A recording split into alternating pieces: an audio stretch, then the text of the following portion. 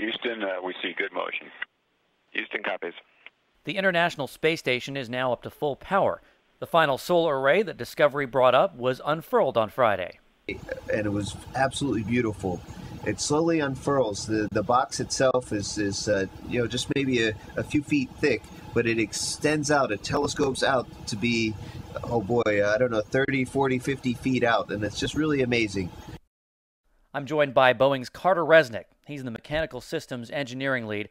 Carter, what was it like in Mission Control watching this solar array unfurl? It was just fantastic seeing the arrays out in the sun like that, light shining through the amber Kapton with the blue cells.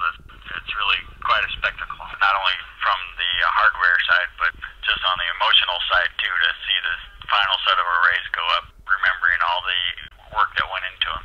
And what does this mean for the space station? Right, this is uh, we've got 100% power now for the space station. Um, this this element coming up brings an extra 50% power for the sciences, and this is the final 25% of total station power. Carter Resnick from Boeing, thanks so much. I'm David Waters, spaceflightnow.com.